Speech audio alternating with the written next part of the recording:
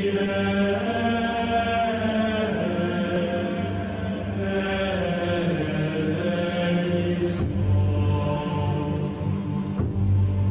Assalamualaikum and welcome to a new series of The Struggle Within on Ahlul Bayt TV with our guest Sayyid Hassan Sadr and we will be discussing in this new series other issues related to the cultivation of our spirituality in the modern world today. And inshallah we'll be looking at some of very key issues in relation to why we should follow this path of Islam and uh, other rational questions that sometimes are not always easily answered.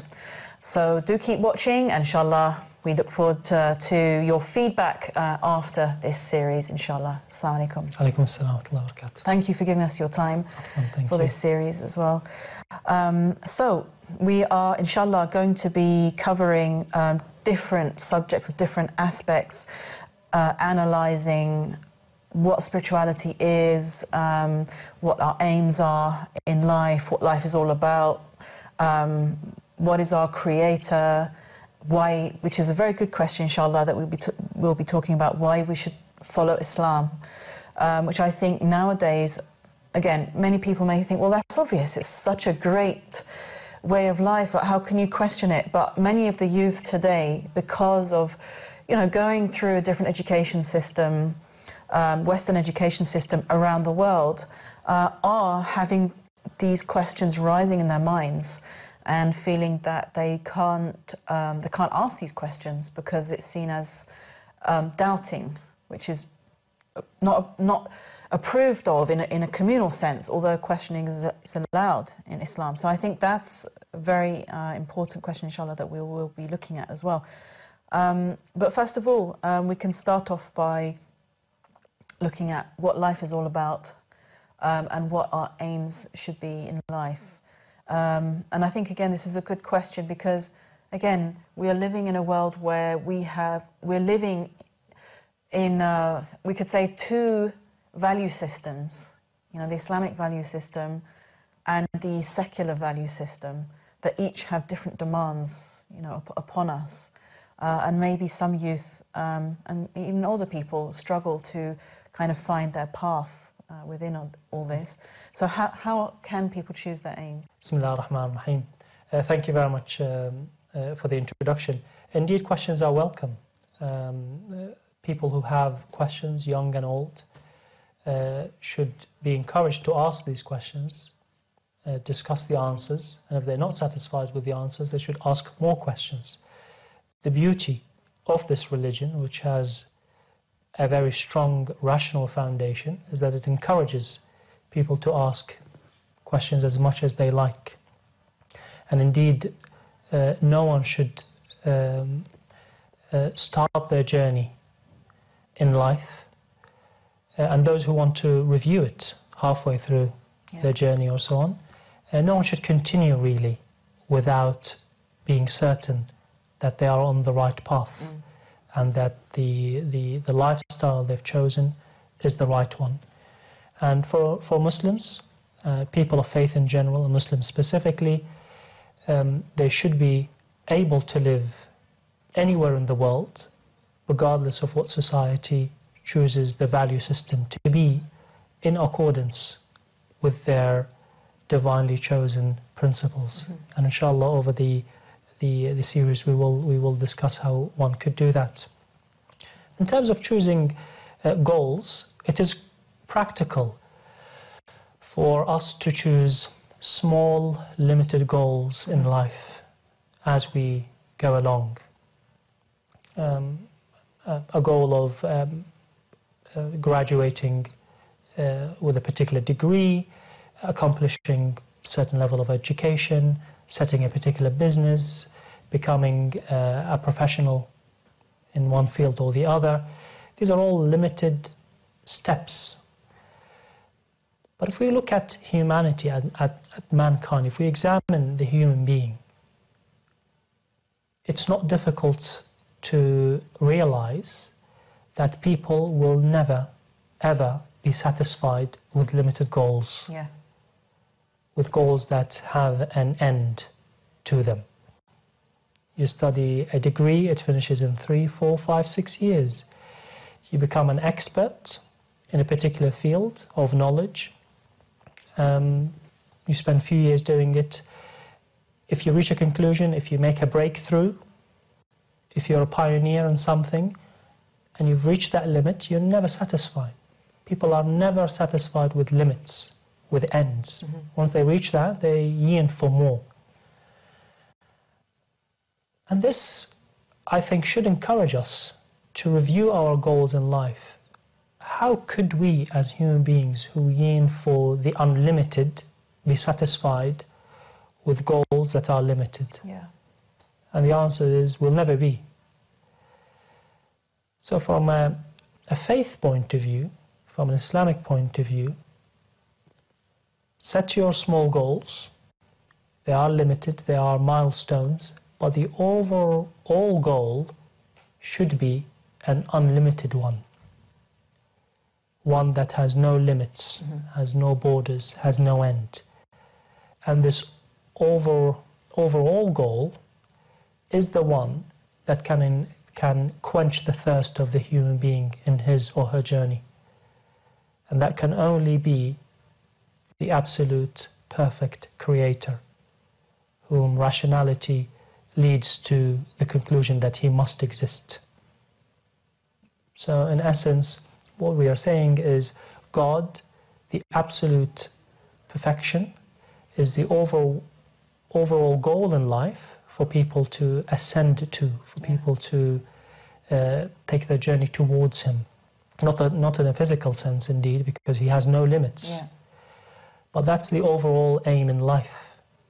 And using these limited steps, these milestones, is acceptable as long as overall you have Him, subhanahu wa ta'ala, the unlimited higher being, as the overall aim in life, mm. um, which will uh, will continue to inspire people, continue to draw people closer and closer to Him, even after they end this chapter in this life and start the next one.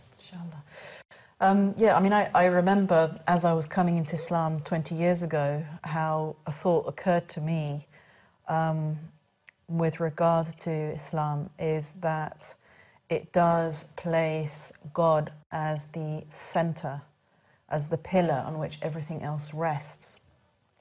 And although this might seem an obvious point, when you've been living a more secularized life, albeit searching for spirituality and reading into spirituality, um, what can happen is that um, God is somewhere there, mm. but other things are there as well. So it's Indeed. kind of mixed up together. Um, and of course, you may be following the trends of your society or the trends of your social group. Um, you know, you may sort of absorb without realizing um, the aims and objectives of those around you, uh, because obviously you're made to feel, well, this is what you should aim for. Indeed. And I think kids go through that at school. Um, and, and so the aim becomes, oh, I need to fit into this group, or I need to kind of um, reach what this group is aiming for. And then you can become dissatisfied and, you know, then be looking again for, for something Indeed. else. Indeed, the, the, the, the, whole peer pressure or the herd mentality, if yeah. I may be a bit more objective, um, into let's just follow, you know, the herd. Yeah. Follow what people are doing. Um, because the moment you step out of this herd, the moment you you are a bit more unique, then you are obviously uh, could be subjecting yourself to extra pressure and and, and, and so on. But I, would like to remind myself uh, and the viewers is that we take the Imams of Ahlul Bayt salam, we take the prophets, the messengers of Allah, and indeed the final of them and their master prophet of Islam, Muhammad as our role models. And it is worth reminding ourselves that those prophets, messengers, and imams, most of them have lived in societies where the divinely chosen value system was not established. Yeah. So they lived as minorities, including the Prophet Muhammad. He only lived the last 10 years of his life. Uh, you know, in charge of the, the, the, the Muslim state yeah. with a capital in Medina. Uh, most of his life he lived amongst people who did not share his value system. And we know about what happened to the Imams after. And for the Prophets before the Prophet of Islam, it was, it was even more obvious. They lived all their lives in a society that had a different value system, people who had different aspirations. But that's not an excuse. In fact, their struggle should be the role, the role model should be the blueprint for us. Yeah. And I know that Muslims who live in in a secular societies, um, and even those who live in the Middle East or, or in, in Muslim-dominated uh, countries or parts of the world, they themselves complain that the value system that's actually yeah. on the street does not is not in harmony with yes. the Islamic or uh, the value system. It's not an excuse. In fact, it brings the struggle of the prophets, the messengers, and the imams closer to our hearts. So we should be reading more about them, the Holy Quran and the books of traditions. Uh, and we are more and more inspired by their stories because we can relate to them. Mm-hmm. Um, and just uh, one other important point about, um, you say, following the herd, um, that even once you come into this path, you still need to keep your own personal aims in mind so that you don't again attach yourself to a religious group or you're not just doing what you, again your friends albeit practicing muslims you're not just doing what they're doing um, or feeling the pressure to do what they're Indeed. doing so you so even within a muslim community you still need to have your aims indeed in, in sight indeed indeed there's, there's no doubt about it that uh, people are always encouraged to revisit their aims and assess them. Are they in accordance with, the, with our divinely chosen values, with the legacy of the prophets, the messengers, and the imams? Or are they cultural or you know, peer pressure and so on? Um, uh, the moment we place God, the Creator, like the prophets, the messengers, and the imams placed Him, the center of our lives, things f- fall into places. Yeah. Uh, the moment we place other limited goals, other limited tasks to fit in, to achieve this, to achieve that, yeah. the means, once we focus on the means or the limited goals, we will lose focus and he will not be there. Mm-hmm. And if he's not yeah. there, then we're not on the straight path. Yeah. And then, of course, you're open to um, whatever, so many different things that are you know, thrown in people's faces and, and, and conflicting messages and um, and then of course you know people lose that sense of well what is my life all about um, so um, and we have this um, verse from Holy Quran which says Bismillah ar-Rahman ar-Rahim I have not created jinn and man except to worship me um, or maybe it means to serve me um, I mean, this word um, abada, or yes. yeah, yeah, to, yeah. to to worship or to serve. Um, I, I sometimes the term worship to me sounds a bit Christian, and the Christian idea of worship is often a bit formal, going to church on Sundays, or um, although I'm sure Christians would say that you know it's it's, it's much deeper than that. Indeed. Um, but it requires further exploration yeah. doesn't it? Doesn't it? And I, I always encourage myself first and, and, and everyone to to refer back to our scholars, yeah. to, to those who spend their life, their time studying this, um, those who followed the path of Ahlul Bayt, the path of Islam, you will find an immense wealth there of explanation. And this particular verse, which I'm um, very glad you, you mentioned, from chapter 51, mm-hmm um, Surah Al-Dhariyat, verse 56, I have only created jinn and mankind to worship me. Indeed, the most obvious explanation uh, of the word worship are the set of rituals that we do in obedience to the Creator. Yeah. And indeed, these are uh, parts, uh, an example of what worshipping the Creator is. However, our scholars, when they uh, when they try and define worship in a more comprehensive sense, it actually has a different meaning. Right. The word worship here means to restrict one's thoughts, beliefs, and actions, to restrict them in accordance with the will of the Creator. So the human being ascends in this journey of redirecting Yeah. all his or her thoughts, beliefs, and actions in accordance with the will of the Creator. So, whenever we're thinking about two different thoughts, we reassess them in accordance with His will. Whenever we have two sets of beliefs, we reassess them in accordance to His will. When we want to act the smallest, the least important of acts, just to look, to say something, or the more important uh, acts of how to treat one's parents, how to treat one's neighbors, how to stand against injustice, Yeah. whether to pray on time or not, how to, you know, to help the homeless person or not, and so on. The smallest and the biggest of decisions, of actions, should be in accordance with the will of the Creator. And since rationally, we will, inshallah, visit and prove, and prove that the Creator is the absolute source of perfection. So His will must be a perfect Yeah. will, must be not only good, not only right, it is the right thing to do.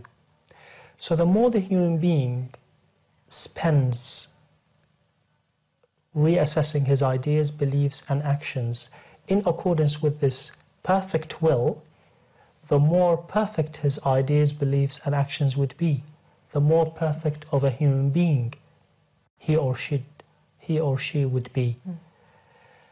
And that is ultimately the aim of the creation, because this verse clearly states that I've only created jinn and mankind to worship me, which equals I've only created jinn and mankind to ascend towards me, which equals I've only created jinn and mankind to ascend towards perfection. Yeah.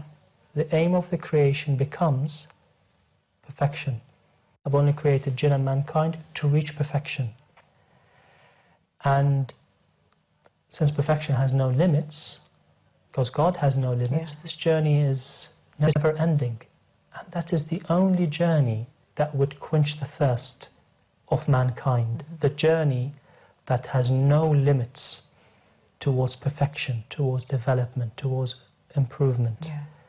And this is not something abstract, this is towards the Creator, the higher being, the just, the fair, the beautiful, the absolute source of perfection. Um, how this reflects on our lives, it starts within the individual himself or herself, perfecting his thoughts, his beliefs, his, his actions, Mm. and then it starts to expand to the family unit, to the community, to the society, and eventually to humanity. And that's what we believe Imam Mahdi will do. Ajal. Ajallah Farajah. He will take humanity in its last chapter towards the absolute perfection, that this earth will be not only on individual levels, which people of faith, Muslims, are encouraged to practice at the moment, themselves, their families, but obviously expand this to encompass the whole of mankind, the whole of this planet. This planet will be like God, like God wanted it to be, a perfect place to be in. Uh, I mean, I, I am aware also in uh, a tafsir that is accepted actually in, by Sunni and Shia that Ibn Abbas um, said that worship also means to know. So um, to worship Allah, to serve Allah, we of course we need to know Allah. Indeed. And that's a whole other, you know, topic. Like, how do I come to know Allah? Um, although, you know, Holy Quran does say like how we can come to uh, see the signs of Allah, to see the proofs of Allah's existence. So it is possible to Of course. to come to know Allah. Of course. Ideas, the, all thoughts, all beliefs, so what we believe in about Him and all the actions should be accordance with His will. And indeed, knowing Him, believing in Him, and acting in accordance with Him, which includes the smallest look, the whisper, the prayers, Hajj, ziyarah, everything, everything we do in accordance with His will, it will be like taking steps towards Him, closer and closer and closer. Um, and obviously, that means closer and closer towards perfection, uh, which is our journey. Inshallah. Um, also, something I wanted to touch upon, which maybe we can continue uh, after the break, is um, I mean, we're talking about per- perfecting our actions and words and thoughts, and people might want to know how to do that, especially when people have, like, I mean, this series is called The Struggle Within. People have inner struggles. They might not be able very easily to uh, conduct themselves in the way that they want to conduct themselves. You know, um, they may feel emotional, get have m- emotional reactions to things, or get upset or angry easily. Um, so it's it's We, we, must discuss it in detail. Yes. There are a few steps that one must take back right. to reevaluate, um, and everything is possible. No thought, no action uh, is there that someone is born with. There is Right. no such idea Right. that I can't change, I can't control myself, it's beyond me. Everything is possible Islamically, and that's what uh, life coaches teach these days. And we are um, pleased to say that our religion has encouraged this idea of change. Even at the last chapter of your life, you can change. The last moment, you could change from being, and I'm sure the audience this doesn't apply to them, but, but from being the worst of mankind, someone who's ready to kill the son of the Prophet, Imam Hussein, to someone who is the first to defend him Yeah. like Al Hur. Uh, you could change from being an a, uh, someone who would aid the tyrant of the time, like the, the magicians at the time of Yeah. Moses, Musa alayhi salam, to be to being the first believers in Moses and Harun. So that switch, that change. I mean, what kind of what kind of uh, impulses, thoughts, benefits uh, uh, were they getting in that previous position? They were able to completely detach from all this and take a different position. Uh, and Islam documents this, and science proves it. Everyone can change.